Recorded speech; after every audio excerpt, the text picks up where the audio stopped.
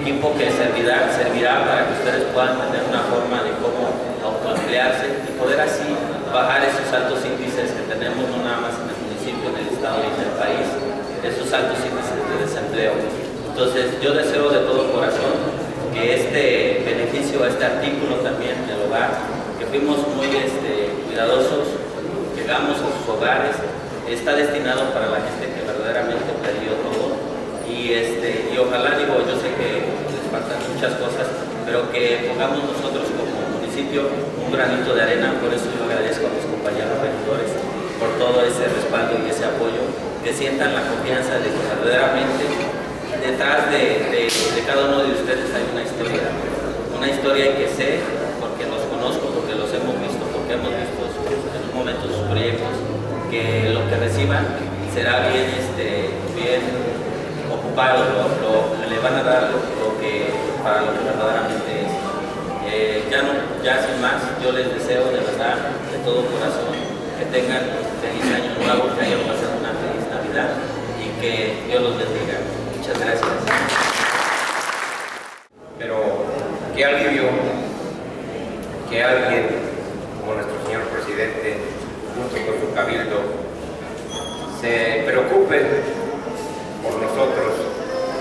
Realmente sabemos de antemano que autoridades de alto rango les interesa andar viajando y tomando votos para sus próximas campañas y se olvidan del pueblo necesitado. Aquí el gran corazón de nuestro señor presidente está con nosotros y yo creo que es un motivo de agradecimiento. Él pudo haber simplemente ignorado y decir que está ocupado demoliendo casas, preocupándose por trabajos en el ayuntamiento, que igual lo está haciendo, pero igual lo está tomando en cuenta. Yo personalmente, a mi criterio, le doy muchas gracias, señor presidente. Muchas gracias por preocuparse por nosotros. Muchas gracias, señores del Cabildo, por estar de acuerdo con nuestro señor presidente. Y realmente es muy, muy grato saber que estén como uno solo, porque lo hemos visto en cabildos anteriores, como el cabildo se está peleando constantemente con el presidente, y aquí vemos unidad, vemos un solo esfuerzo, y eso es bueno para nosotros, eso es bueno para el pueblo.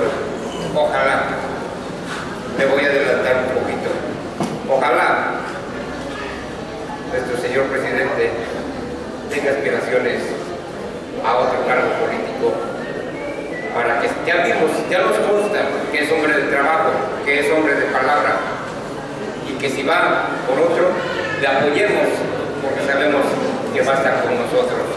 Le agradezco enormemente, señor presidente.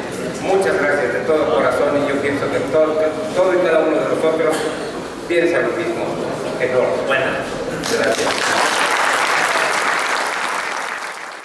que pudiera ser muy simple el tener tal vez una parrilla, tener una máquina de coser, tener tal vez un horno.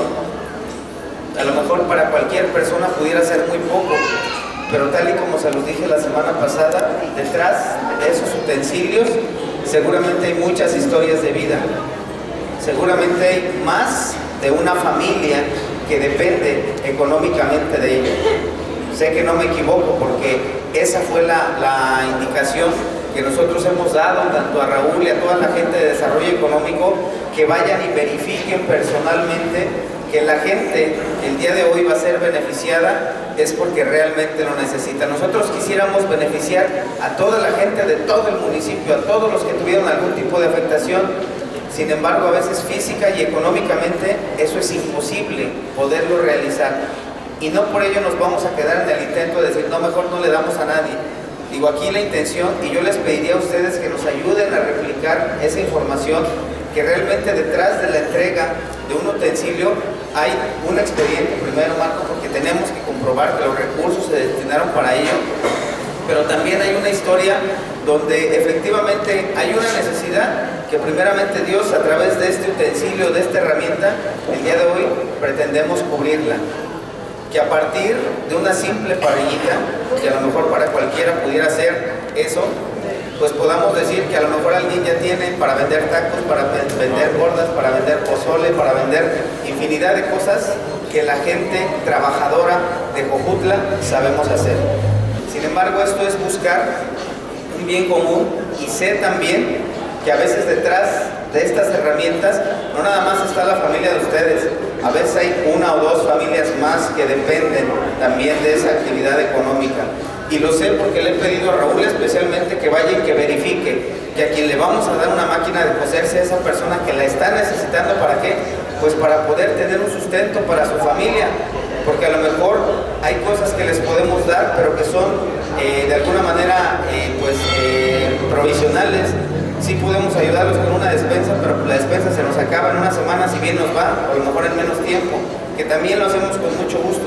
Pero creemos que este tipo de herramientas, utensilios y sobre todo, eh, pues que son para ustedes, que son gente productiva, gente que ha trabajado, que no está acostumbrada nada más a estirar la mano para que le den, sino que está acostumbrada a trabajar, a sobreponerse y a salir adelante de la tragedia que hemos vivido, va con esa intención. De verdad, muchísimas gracias a ustedes por su presencia. Qué bueno que hoy tenemos esta oportunidad de hacer esta entrega a través de los recursos del FAEDE que ya estaban etiquetados y que ya estaban destinados antes del sismo y que de manera conjunta con los compañeros del Cabildo también decidimos hacer una entrega más con algunos recursos. No pensamos en tener algún beneficio personal, un servidor ha estado en todo momento ocupado en que los apoyos, los beneficios lleguen a quien realmente los necesita. Y hoy con mucho respeto y con mucho cariño hacemos esta entrega y esperemos que sea de gran utilidad para ustedes, para sus familias y para todo lo que viene en la reconstrucción del nuevo Jutla. Muchas gracias, buenos días y que Dios